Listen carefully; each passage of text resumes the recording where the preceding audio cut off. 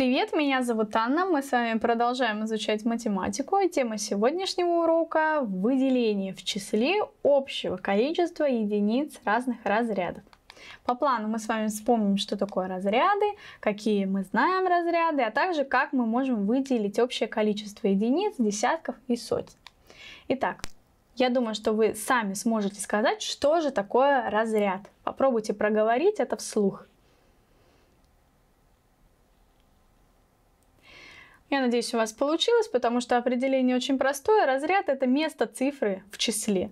В зависимости от того, в каком разряде стоит цифра, она будет играть э, совершенно разные роли. Мы с вами знаем пока что только три разряда. Это единицы, десятки и сотни. И именно эти три разряда помогают нам записывать однозначные, двузначные и трехзначные числа. Чтобы записать трехзначное число, каждую цифру мы ставим на свое место. Например, в этом число у нас 3 стоит в сотнях, 4 в десятках, 5 в единиц. А, и мы с вами будем читать это число, начиная слева направо. И записывать также 345. Давайте посмотрим на вот это число. Чем оно интересно? Что это число 140, да? Здесь у нас одна сотня, 4 десятка, 0 единиц. Итак, если мы посмотрим на это число, то увидим, что в нем 140 единиц.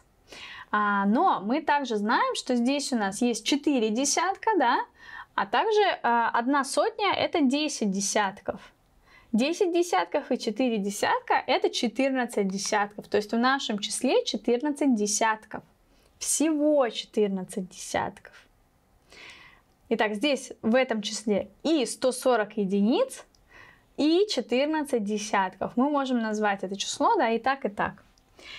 А, таким образом, мы в этом числе выделили общее количество единиц и общее количество десятков.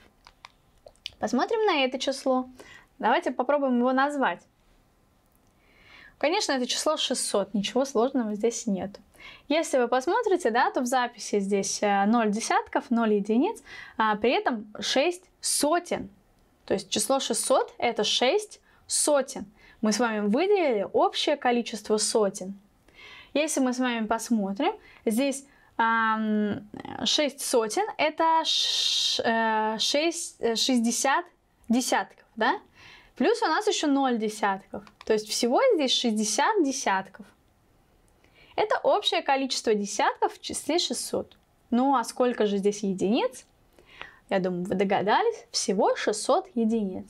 Таким образом, в числе 600 мы выделили общее количество сотен, 6 сотен, общее количество десятков, это 60 десятков, и общее количество единиц, 600 единиц. Ну а мы подводим итог. Мы сегодня с вами, вспомнили, что такое разряды и как э, узнали, как выделить общее количество разрядов, да, там единиц разряда, единиц, десятков или сотен.